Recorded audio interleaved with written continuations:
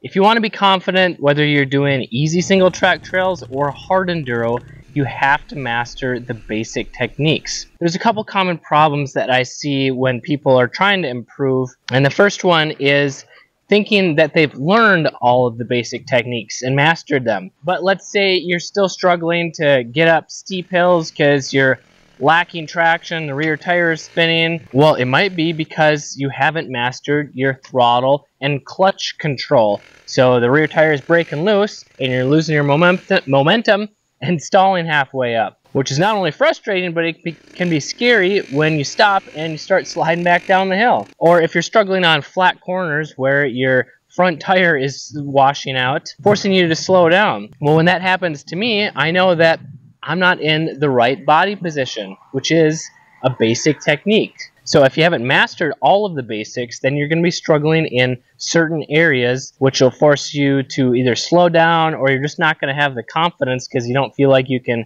get up that hill or over that log or around that corner as fast as uh, the other guys that you're riding with or gals. Or maybe you've learned the proper techniques. You have the knowledge, whether it's from watching a YouTube video or going to a riding school, and you can do them when in a controlled area. But then when you get back on the trails, riding with your buddies, you're trying to pick up the pace, you just revert back to your old techniques or old habits, which aren't the proper ones.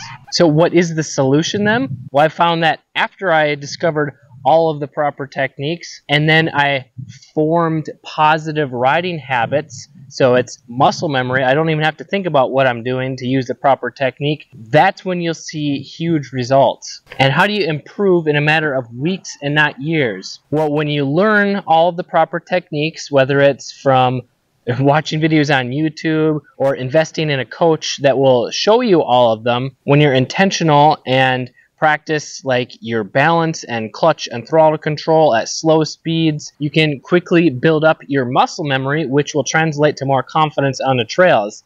And if you have tried that and you're struggling, well, there's a good chance that you're still a little bit off in your technique, and it can be hard to tell if you're just trying to go out and practice what you're learning on a video or from a coach because what you feel you're doing might not actually be what the proper technique is. And if you have a proper coach, they can point out the technique, uh, whether you're doing it right or if it needs to be adjusted. And you can see big improvements very quickly that way, which is why I started the Virtual Dirt Bikers School uh, for casual trail riders that want to improve their confidence faster when it's just taken too long uh, trying to figure it out on their own. And you can see and feel a difference in a matter of just a couple weeks. You're not going to be expert level speed, but it starts with building your confidence. You might not be super comfortable at first because you're learning new things, but the comfort and speed will come as a byproduct if you want it to. And if you want to start learning these basic techniques now,